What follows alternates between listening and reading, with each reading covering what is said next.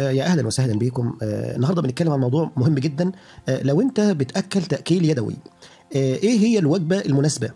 طبعا في ناس بتنزل بتروح الصيدلية وبيجيبوا اللي هو طعام الأطفال اللي هو بنقول عليه سيريلاك سيريلاك الأطفال. وطبعا السيريلاك دوت بيجيبه وبيعملوا وبيأكل به الفروخ. أنا بتكلم النهارده وبقول يعني كنصيحة الابتعاد عن هذا ال ال هذه الوجبة لأن هذه الوجبة يعني آه، أنا شفت وجربت يعني إن هي وجبة مضرة جدا.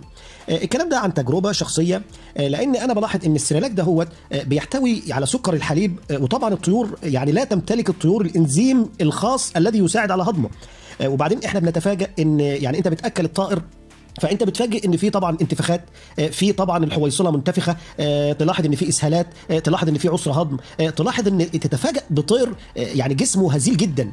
وتلاحظ إنه بيتأخر جدا في النمو. يعني أنا يعني ده الكلام ده كله عن تجربة آه، ويعني مش يعني ما بقولش الكلام ده وخلاص لا الكلام ده فعلا عن تجربة. آه، موضوع السيرلاك دوت اللي أنت بتجيبه من الصيدلية اللي هو بتاع الأطفال آه، أنا يعني شايف إن يعني أضراره كتيرة جدا وبشوف إن إن إن الفرخ بيفضل مدة طويلة جدا آه، ويعني ما, بي ما بنموش. ليه؟ لأن ال- العناصر ال- العناصر الغذائية كلها مش مكتملة في السيرلاك.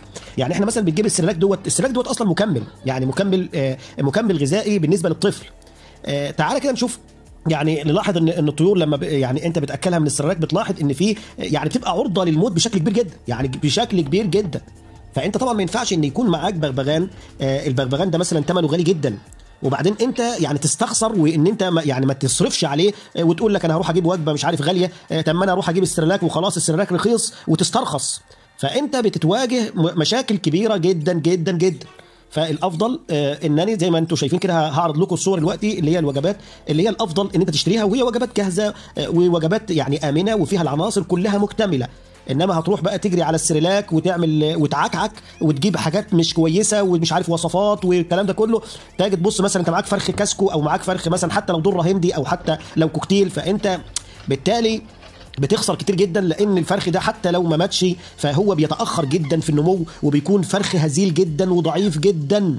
لكن غالبا بنسبة كبيرة انت بتكون معرضه لموضوع ال- الموت لأن ال- ال- السريلاك بيحتوي على سكر الحليب وده أصلا مصنوع أصلا عشان الأطفال.